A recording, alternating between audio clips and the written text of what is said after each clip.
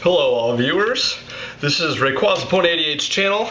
This is going to be a cubing video. If you're wondering why I have this camera angle, I found a tripod, but it was a really old tripod. I'm just going to stand back here. You can just hear my voice. It was a really old tripod, so it didn't fit my camera, but I used masking tape, so if you anything like interrupts this video, it'll probably be it fall, the camera falling off, but hopefully that won't happen because I like this camera. Okay, but this is going to be a timed lubrication of my new Rubik's Icon Cube.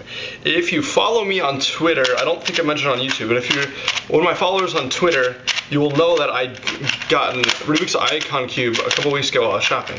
Now this thing actually moves very fast on its own, but I'm gonna lubricate it.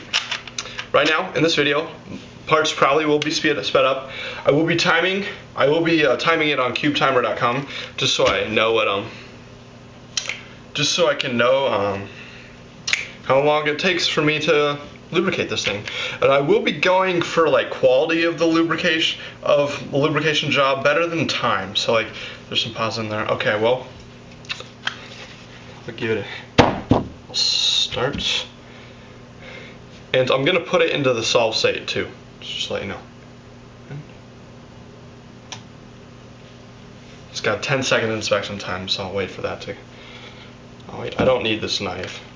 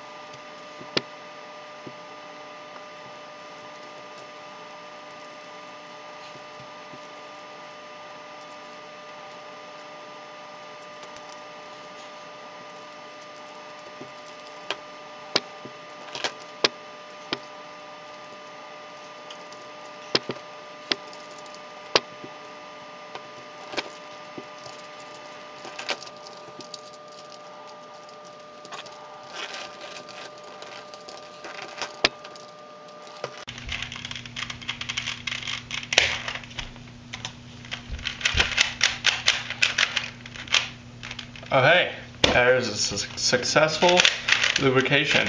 Moved really well then, now it actually moves even better.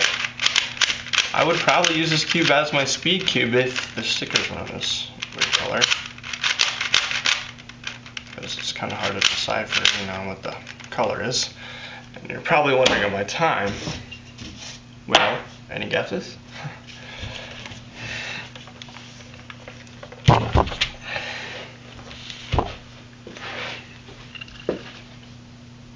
But as you can see it better.